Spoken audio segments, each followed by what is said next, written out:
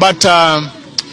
uh, the, uh, you see, the current MPs, I want to say that uh, they are suspect, hypocritical politicians who are only going to titillate the minds of Kenyans in order to vamoose their tedium and vacuous ideologies, in order to